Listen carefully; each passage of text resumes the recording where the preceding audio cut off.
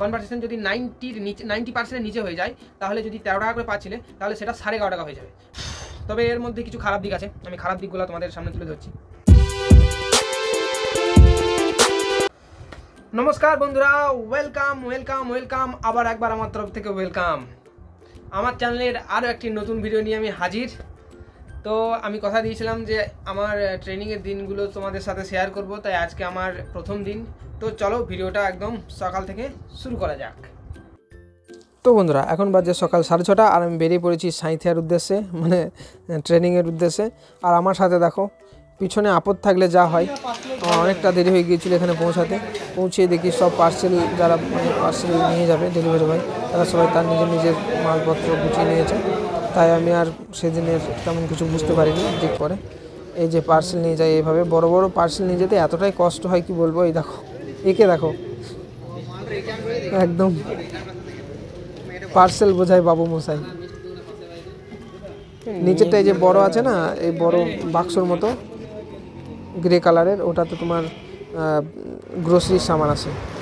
আর যেটা হচ্ছে অফিস আর এই অফিসে যে যে মালপত্র রিটার্ন আসে সেগুলো আবার নতুন করে পার্সেল করে পাঠিয়ে দেওয়া হয় কোম্পানিকে আরে দেখো, গুছিয়ে রেখেছে। এগুলো তোমার এরিয়া অনুযায়ী পরপর পরপর সাজিয়ে এরকম করে রাখতে হয়। তারপর এগুলোকে ব্যাগে ভরে নিয়ে একদম রওনা। তো দেখো বন্ধুরা, এই দাদাটার সাথেই আমি ট্রেনিংয়ে যাচ্ছি। তো বন্ধুরা এখানে হয়েছে কি? না এই ম্যাডামটার ঘরে একটা প্রচণ্ড বড় একদম হেলদি কুত্তা কি বলব? কালো মিস মিসের টাইগারের মতো একদম। কুত্তা আছে সেই কুত্তাটার ভয়ে এত দূরে গিয়ে ডেলিভারি করতে হয়। ওর ঘরের সামনে যাওয়া খুবই মুশকিল। একমাত্র ম্যাডাম যদি বেরিয়ে আসে ওই যে কালো কুত্তাটা দাঁড়িয়ে আছে। ম্যাডাম যদি বেরিয়ে আসে তবেই আসা যায় না হলে একদম ঘেউ ঘেউ শুরু করে দিয়েছিল। এই ছেলেটা তো দৌড়ে পালিয়ে এসেছিল প্রথম দান। দ্বিতীয় দানে ভিডিওটা করেছি আমি প্রথম দানে ভিডিওটা করতে পারিনি। দৌড়ে চলে এসেছিল এত পর্যন্ত ওখানে গিয়ে দাঁড়িয়েছিল আর কুকুরটা দৌড়ে চলে এসছে আর এও দৌড়ে চলে এসছে।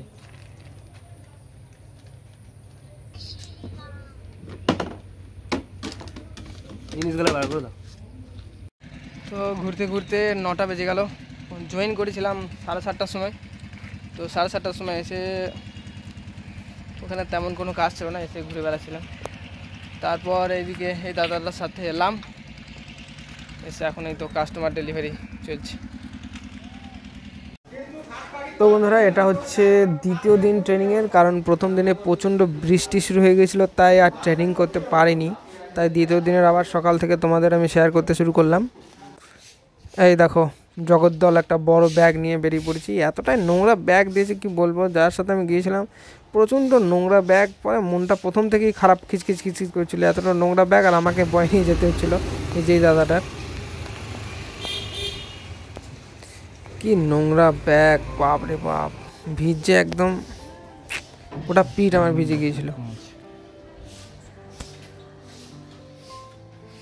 তো বন্ধুরা, বিশেষ করে আমি দুদিনে কী কী জিনিস জানতে পেরেছি আমি তা তোমাদের সাথে এখন শেয়ার করছি।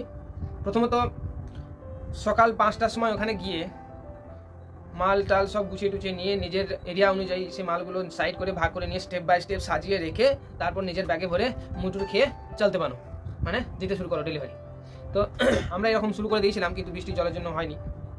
অনেক প্রবলেম হয়েছিল। প্রথম দিন তো আমাদের বৃষ্টি জলের জন্য আর আমি যাইনি। প্রথম দিন ট্রেনিংয়ে হাফ ট্রেনিং করে পালিয়েছিলাম। আর দ্বিতীয় দিন দুটো পর্যন্ত ট্রেনিং করেছিলাম। তো ট্রেনিং থেকে আমি যে জিনিস জানতে পেরেছি তা হচ্ছে গিয়ে মোবাইল একটা অ্যাপ আছে, যে অ্যাপটার নাম হচ্ছে ফিল্ড এক্স অ্যাপ ওই অ্যাপটার মাধ্যমে ডেলিভারি ডেলিভারি কনফার্ম করা হয় ডেলিভারি ক্যান্সেল করা হয়। যদি কেউ রিটার্ন নেওয়া রিটার্ন নেয়, তাহলে ফিল্ড এক্স অ্যাপসের মাধ্যমে অ্যাপটার মাধ্যমে মানে কীভাবে এগুলো করতে হয় রিপ্লেসমেন্ট কীভাবে করতে হয়, এইসব জিনিসগুলো শিখলাম। তার সাথে সাথে লোকেশন ট্র্যাক করে কীভাবে গেস্টের কাছে গিয়ে অর্ডার দিতে হয়। কারণ কোনো কোনো গেস্ট অনেকক্ষণ ফোন করার পর, দশবার ফোন করার পর ফোন ধরে না। তো ফ্লিপকার্টের নিয়ম অনুযায়ী দশ বার থেকে বারো বার ফোন করার পর যদি ফোন না ধরে কাস্টমার তাহলে সেই অর্ডারটাকে ক্যান্সেল করে দেওয়া হয়।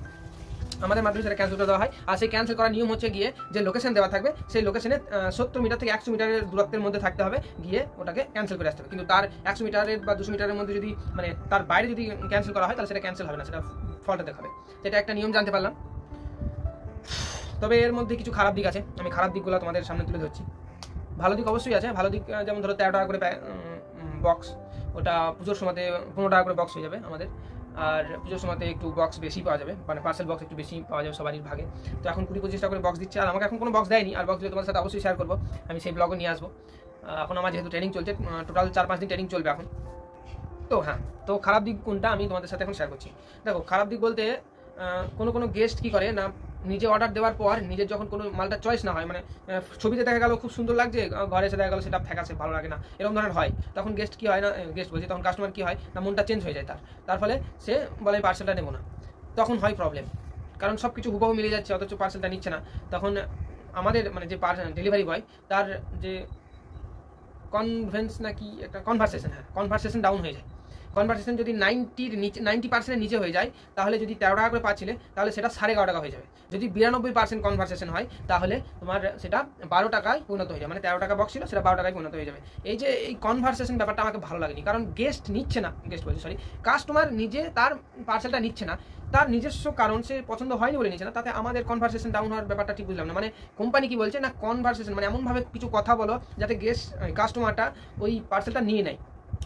তা আমরা তো অবশ্যই সেটা তো চাই পার্সেলটা নিয়ে নেয় কিন্তু আমরা কি এমনভাবে জোর তার করতে পারি না কাস্টমারকে তাই না? তবুও এই ফ্লিপকার্টের নিয়ম অনুযায়ী কনভারসেশন যদি ডাউন হয়, বিশেষ করে নাইনটি পার্সেন্টের নিচে হলে সবথেকে খারাপ। যদি তেরো পার্সেন্ট থাকে, সেটা হচ্ছে সাড়ে এগারো পার্সেন্ট বা এগারো দশমিক পঁচাত্তর পার্সেন্ট এরকম হচ্ছে। আর যদি নাইনটি ফাইভ পার্সেন্ট হয়, তাহলে ঠিক আছে নাইনটি ফাইভ পার্সেন্ট হলে ঠিক আছে। আর এমনিতে ধরো বলি তো দিলাম, যদি নাইনটি টু হয়, তাহলে তোমার এক পার্সেন্ট এক টাকা করে কমে যায়। তখন ওটা বারো টাকা হয়ে যায়। এই জিনিসটা আমাকে একদম ভালো লাগেনি। আর ভোর পাঁচটার সময় উঠে গিয়ে কাজ করা আমি তো বাইশ কিলোমিটার দূরে আছি, আমার যাতায়াত করতে খুবই প্রবলেম হবে বুঝতে পারছি। তবুও যা কিছু হবে তোমার সাথে আমি শেয়ার করব। নেক্সট ভিডিওগুলোতে তোমরা আমার চ্যানেলে থাকো, আমার চ্যানেলটিকে সাবস্ক্রাইব করে রাখো এবং আমি আমার লাইফস্টাইল তোমাদের সাথে অবশ্যই শেয়ার করব। আর তার সাথে সাথে আমি আমার কিছু লেখা মানে আমি কিছু কিছু লিখতে ভালোবাসি। মানে আমি লিখতে ভালোবাসি, আমি রচনা লিখতে ভালোবাসি। তো আমি সেই আমার কিছু মনের আবেগ দিয়ে বানানো কিছু কথা বা কিছু গল্প, কাহিনী, সেগুলো তোমার সাথে শেয়ার করব। তো তোমরা আমার চ্যানেলে সঙ্গে থাকো আর আমার চ্যানেলটি সাবস্ক্রাইব করে রাখো। তো অনেক অনেক ধন্যবাদ আমার ভিডিও দেখার জন্য। আবার দেখা হচ্ছে নেক্সট ভিডিওতে ততক্ষণ পর্যন্ত সবাই ভালো থাকো সুস্থ থেকো। নমস্কার।